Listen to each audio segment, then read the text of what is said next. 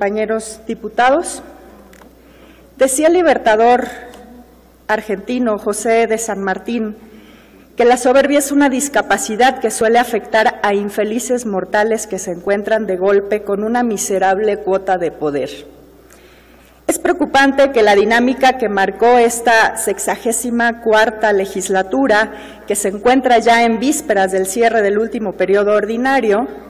sea una franca disposición de violentar el pacto federal y aumentar el poder del Ejecutivo.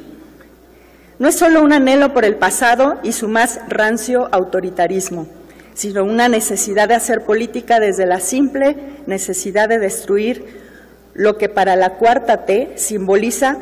una época de oscurantismo en la historia del país. En efecto, la historia está ahí y la memoria de la gente es la que juzga crudamente el legado de los gobiernos anteriores que dilapidaron las esperanzas de millones de ciudadanos. Sin embargo, emprender la tarea de transformar un país sin diagnósticos, ni la más mínima pausa para entender qué de lo que se hizo está mal o está bien, es un acto de soberbia insostenible. Vivimos un viaje en el tiempo en la Cámara de Diputados. Estamos frente a una mayoría parlamentaria que se empeña en aprobar leyes inconstitucionales y que ha perdido la capacidad de discutir los proyectos de ley, dando paso a la aprobación sistemática de los designios del presidente. La independencia judicial es, sin lugar a dudas, uno de los pilares del Estado mexicano frente a las luchas del poder entre el poder ejecutivo y el legislativo, el poder judicial se presenta como un poder neutral, es el último defensor de la Constitución. Modificar de manera sustantiva la vida del poder judicial debe, en esencia, repercutir de manera directa y concreta en la calidad de vida de las y los mexicanos, por lo que al hacerlo no podemos permitir que se beneficien intereses particulares o partidarios. El anhelo de un México en donde las leyes se cumplan y se respeten es una aspiración que como colectivo debemos tener presente hoy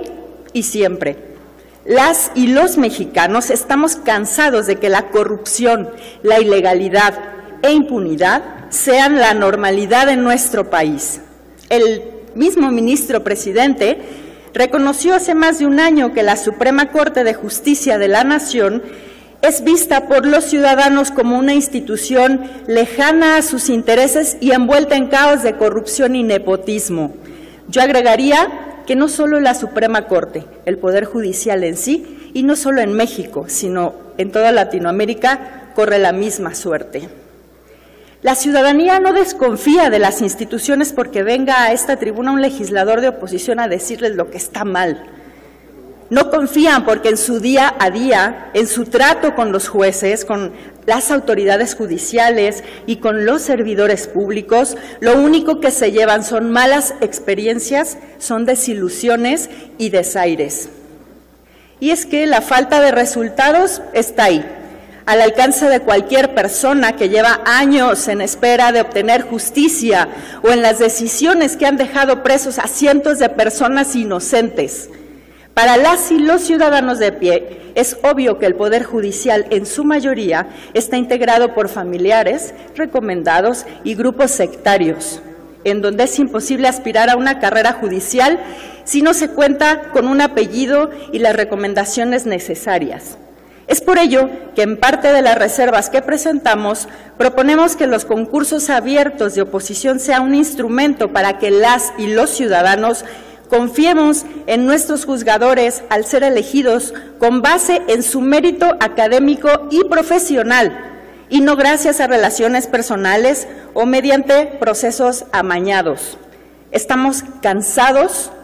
de que las designaciones en el Poder Judicial se realicen de manera opaca y a veces de madrugada que jueces y secretarios sean elegidos sin convocatoria, sin transparencia del proceso y sobre todo con una franca carencia de certeza de que efectivamente cuentan con los conocimientos para el acceso al cargo. Según una encuesta reciente del World Justice Project en México, siete de cada diez usuarios de la justicia en el país percibe que el factor decisivo para la contratación y promoción de los funcionarios en los juzgados y tribunales federales es tener familiares en el Poder Judicial. El resto, tres de cada diez encuestados, considera que el factor decisivo para la contratación es mérito. Así de agonizante es la vida del Poder Judicial en estos días, para que hoy, a través de esta reforma, lejos de revitalizarla, se ponga en riesgo la independencia y la autonomía de nuestro máximo tribunal. Quizá, como se ha dicho aquí, una de las preocupaciones más graves es la adición en el Senado del transitorio que pretende ampliar por casi dos años la presidencia de Arturo Saldívar, tanto en la Suprema Corte de Justicia de la Nación como en el Consejo de la Judicatura y dos años el periodo de los otros seis miembros de la Judicatura, que es a todas luces inconstitucional.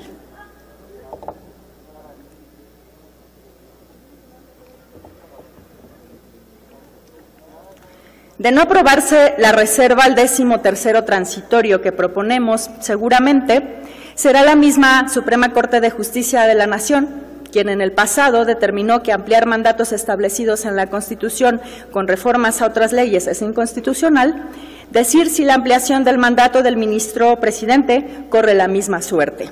La defensa de las instituciones democráticas, del pacto republicano y de la división de poderes depende de que podamos dar certeza y legalidad a la vida del Poder Judicial.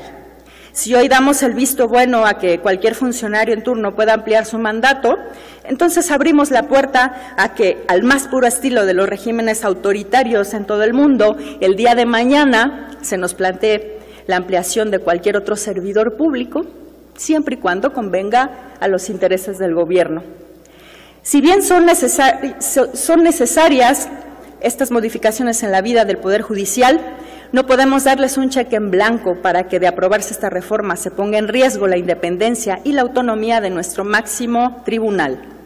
Es necesario y urgente que Morena sea congruente que si ayer como oposición se manifestaron en contra de este tipo de atropellos como lo hicieron en 2016, hoy que están en el poder lo sostengan y renuncien a sus pretensiones. Movimiento Ciudadano desde siempre se ha comprometido con la división de poderes y la independencia y autonomía del Poder Judicial Nada le hace más falta a este país lleno de sed de justicia que un poder judicial que sirva a la gente y no al Palacio Nacional. Ceder ante estas tentaciones es un manifiesto atropello a la división de poderes de un gobierno que se acerca cada,